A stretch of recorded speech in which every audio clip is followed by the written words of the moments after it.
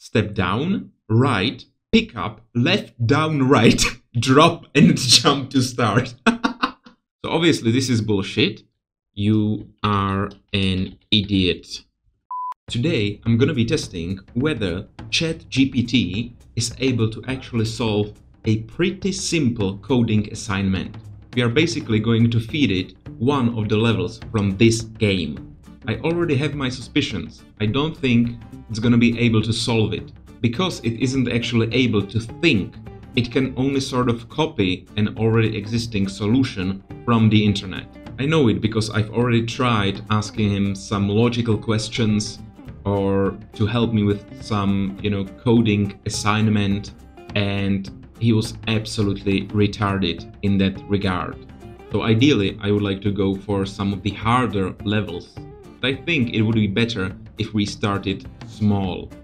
Maybe it could be able to help us with these optional challenges which even I wasn't able to solve. But let's start really small. This is the third, I believe, assignment in this game. It's really simple. We need to make these workers pick up these cubes and set them down between those two plants. So the code that we have is step down, pick up, take two more steps down and drop the cubes. If I run it, they do exactly that and that's the assignment completed. 5 commands in 2 seconds. That's what we want. So I have tried to formulate the assignment and give it to ChatGPT. He's supposed to write a code using a set of instructions we give it.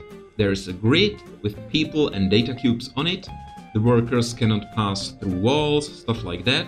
And the code will be executed by every human on the grid. I also told it to use the least amount of commands every time. So the first assignment is to command the workers to move a line of data cubes down by two cells, which is exactly the same wording as in the game. The commands ChatGPT can use are these. Step in a direction makes a human step to any adjacent cell if possible. You have to specify the direction. Pick up makes human pick up a data cube they are currently standing on. Drop makes a human drop a data cube they might be holding on the ground. And I've also attached the description of the grid itself, where the pipe sign means wall, H is a human, D is a data cube, and X is a hole. A dot is an empty cell. So here we've got a wall at the top, then a wall with empty cells in between, then we've got the row of humans, the row of data cubes, then some empty cells. Here instead of the plants I just put holes and then walls again. So let's try and see what ChatGPT can come up with. He understands that he's supposed to move a line of data cubes down by two cells, and he says we can use the following set of commands for the given grid. So here is the code provided. Step down, pick up, step down again, then for some reason drop the cubes, step down again to the goal line, pick up a non-existent cube, step down again just for fun and drop the cube you are not holding. What the hell is that? So I had to clarify that there is only one line of data cubes, the people are supposed to pick them up, move them, and that the data cubes do not duplicate in any way, because it seems that ChatGPT has simply cloned the data cubes. He thanked me for clarification and finally managed to fix the code. So now it's got the same code as we do. Step, pick up, step, step, drop. That's job well done. So me being optimistic, I wanted to try a long distance delivery, the very next level. Here the workers are supposed to again take the data cubes and bring them into these holes. We are supposed to drop all the cubes into the infinite pits and the humans as well. So what we do is take a step to the right, pick up the cubes and then just keep walking right. Because the humans will eventually reach the holes and fall right into them with the data cubes in hand. 4 commands in 6 seconds. Lovely. Now, can ChatGPT write this very simple code? Only 4 commands. Come on, that's gotta be easy. So I've specified another assignment. All humans and data cubes must fall into the holes in the grid. Try using as few commands as possible. And again, I've defined the grid. It's a little smaller than the one we've actually got in the level, but the point is the same. A column of humans, a column of data cubes, and then they've each got a hole on their row, each a different distance from the starting position. Also, I've introduced the jump command. It allows the worker to jump to a specific spot in the code, which allows us to create loops. Now let's see what ChatGPT has done. So it's created a label and then the workers should step down, check if cell is a hole. If it's a hole, then drop the data cubes and step up and jump to start. What the hell does that accomplish? So I clarified that you make a data cube fall down a hole by making a human who is holding the data cube step into the hole. You can't actually drop it down the hole. So the next iteration of code we got is this. Step down, check hole. If it's a hole, step down, probably into the hole. If it's a data cube, then pick it up and jump to start. Now, this is obviously way too complicated and way too dumb. So I clarified, you are not allowed to use any if statements. The humans who fall down holes stop executing the code. If a human attempts to pick up a data cube on an empty cell, nothing happens. So you don't really need to check anything. Another iteration. Step down, drop, pick up, jump to start. What the hell? If you examine the grid, you will see that the holes marked with X are actually to the right. Not down, you nugget.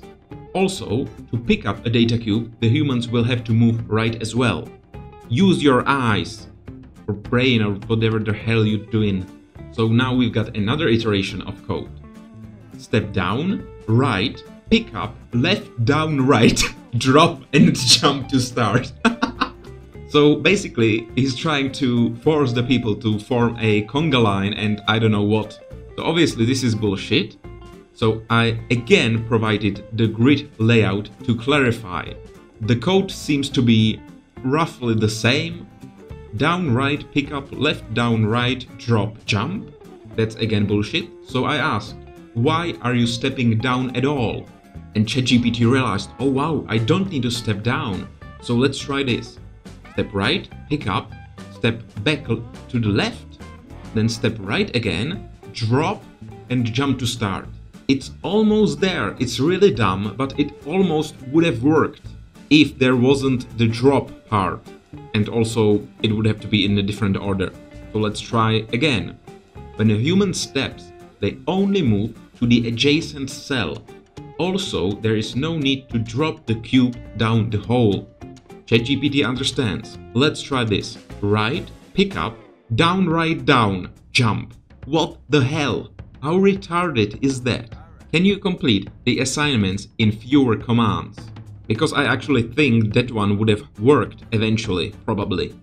You know what, let's let's just try it. So it's right, pick up, down, right, down. Right, pick up, and then we've got down, right, and down.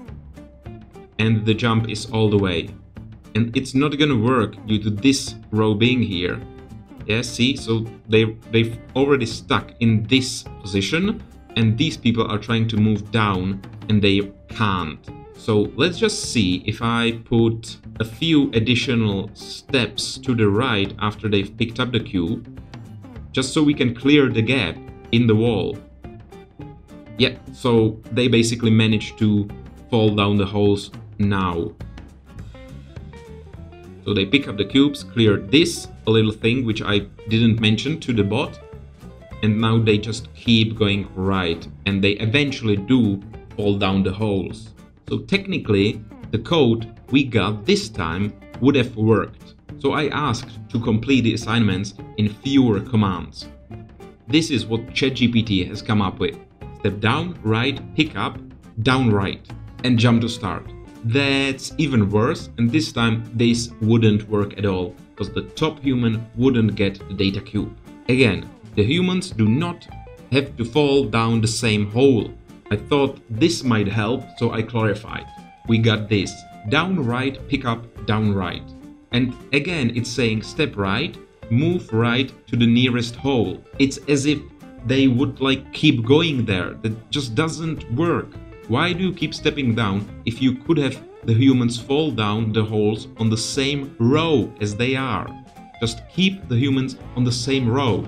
We got another apology from ChatGPT and this time we've got step right, pick up, step right and jump to start.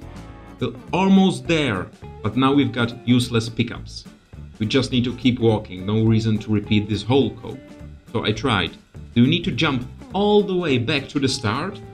Oh no, of course you don't. Let me fix the code. Step right, pick up, right, right. And that's it, no jump, what the hell? So again, this wouldn't work. In the code you provided, there is no loop. Oh, you are right. So let's try this. Right, pick up, right, right, jump to start. Basically even worse than before. You are an idiot. This can be very frustrating. Anyways, I hope I showed you guys that ChatGPT is completely and utterly retarded when it comes to actually being able to think in a normal human way. Therefore, I don't think it's really necessary to try and solve any other levels using ChatGPT because we know where that leads to. Also, it's really painful to describe the grid.